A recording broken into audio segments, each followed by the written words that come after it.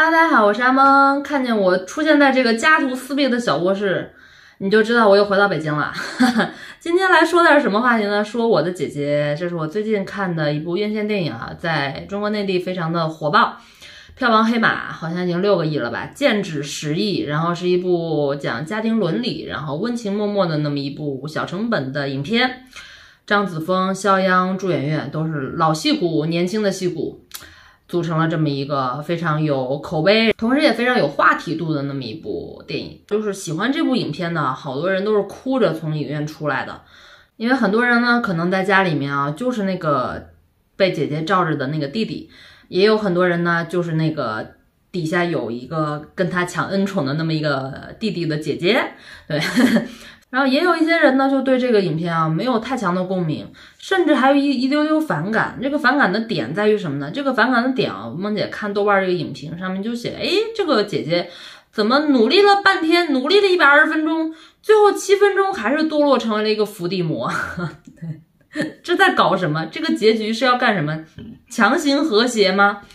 所以呢，梦姐今天啊就在这儿说说自己的观感和想法。就是首先，我觉得就是这个结局啊，不管姐姐选择是养弟弟还是不养弟弟，当然大概率还是要养弟弟嘛。它其实它不重要，重要的是过程，就是这个这个过程到底是一开头张子枫不喜欢他弟弟，对吧？转变转变转变转变，哎，变成了张子枫喜欢他弟弟。中中间的这个过程只要 make sense，只要让观众共情了就 OK 了，对不对？并不是说，哎呀，你不能接受，是因为你没有一个弟弟，你没有，你是个独生子，你不能完全不能 get 到，就跟这个没有任何关系，知道吧？所以作为一个独生子，也是完完全全能够理解编剧在这个里面想要做的表达。这个是萌姐想说的第一条。然后第二条呢，就来分析一下啊，我觉得这个问题啊，其实就在于这个导演和编剧要太多了，把这个电影塞太满了。他在这里面啊，塞了三对姐弟关系，一个是张子枫和他弟弟，还有一个呢是。朱媛媛就是张子枫的姑妈，然后，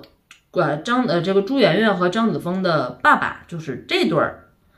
姐弟关系，还有一个呢是这个肖央演的这个舅舅。和张子枫的这个妈妈的这个姐弟关系，他明着写的是张子枫和弟弟这对儿年轻的姐弟关系，其实隐含着还还有两条姐弟叙事线，你知道吧？就是哪个还都不能弱。你想想，一个导演，一个新导演，一个编剧，要在这么一百二十分钟的这个电影故事里面，要同时完成三个。姐弟关系的这个人物弧这个转变，还要写的非常的精妙，几乎是不可能完成的任务，对不对？能把一条线写好，就已经非常非常的不容易了。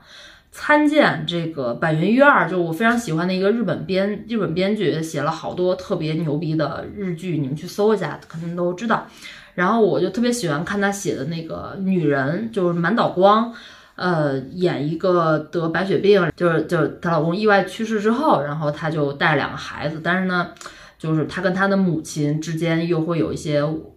就是不愉快和误会，然后她又没办法得了疾病，要回到母亲家里面，需要得到母亲的照顾来照顾她的这个外孙女儿、外孙，就中间的这个关系，她其实写了两代人的女人。女人对于孩子、家庭的这个东西，你想想人家那样啊，用十集来写这么一个故事，然后你看完了简直感动极了。就他这个感情啊，很微妙，要慢慢、慢、慢慢递进和刻画，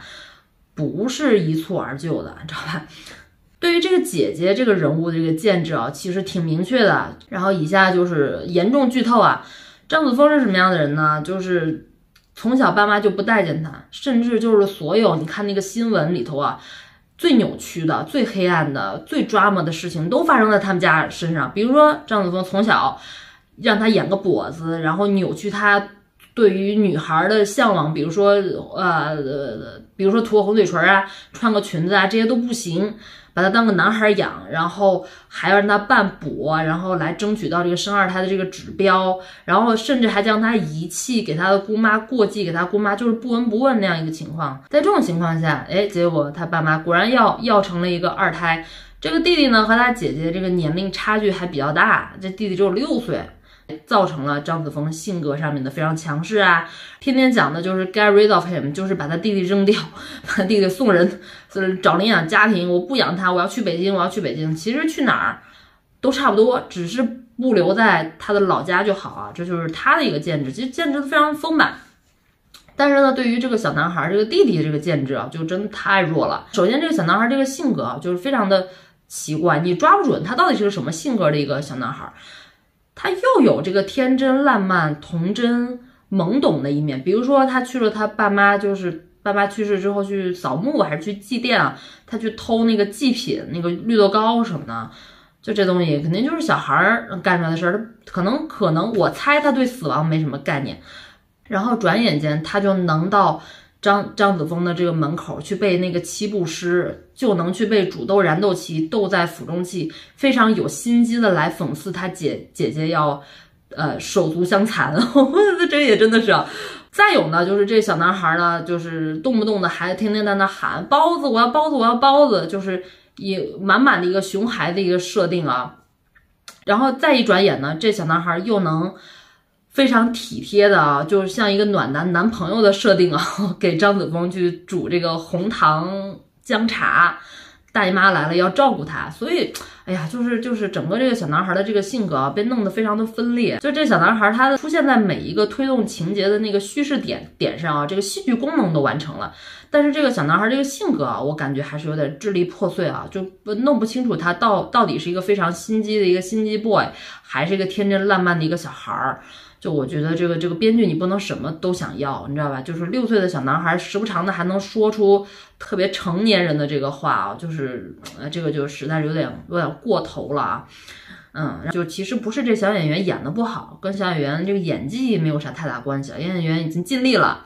呃，我觉得可能还是这个戏戏没写到位的问题。这个小男孩这这这条线嘛，因为笔墨被分掉了嘛，对吧？对，就匀给了肖央。啊，然后匀给了朱媛媛，所以呢，就是另外两对儿这个呃姐弟关系啊，特别是朱朱媛媛那条情感线还是很值得玩味的。它整个这个片子啊，这个有微微有一点点重心偏移。全剧的女主角就是张子枫，围绕着张子枫来构构建她的这个社会关系，比如说她跟弟弟的关系啊，这是最主要的一对矛盾嘛，对吧？然后她跟姑妈的关系啊，她跟舅的关系啊。他跟什么爷爷奶奶、亲朋的关系啊？他跟他的职场关系啊？他的恋爱关系，就是围绕着张子枫这个人来的，对吧？但是其实观众最想看到的，他的生活中最大的一段矛盾点，就是张子枫和他弟弟之间那段的矛盾。呃，编剧没有腾出太多笔墨来好好写这这个。这条线，我觉得这个是整个剧是最让人觉得惋惜的一点啊。但是呢，这部电影还是非常的值得推荐啊，然后也是非常的可圈可点，在于什么呢？就是它的商业化做的非常的明确，因为它做了很多的权衡和取舍之后呢，就是它还是要为投资人赚钱，对不对？这样的这个影片能够在市场上取得比较好票房成绩的话，那就意味着类似于这种讲家庭伦理亲情。大家可能会觉得，哎，情节会不会比较慢呀？然后会不会太细腻啊？这些东西也会得到投资人的青睐，然后也能带活这个类型。所以我觉得这个影片呢，我觉得它的功劳是在这边。然后我觉得这一点也是完完全全值得被肯定的。另外呢，这个电影也是导演处女作，也是一个小成本电影嘛，然后基本上也用了很多新人演员。在这个基底上，我觉得完成度是非常非常高的，包括摄影啊、摄像、剪辑啊，就是包括演员演技的这个打磨上面什么的，我觉得这些都没得说，非常的就非常的成熟。希望大家都去电影院支持一下这个电影吧，我觉得还是挺棒的一部影片。嗯，好啦，就这样了，拜拜。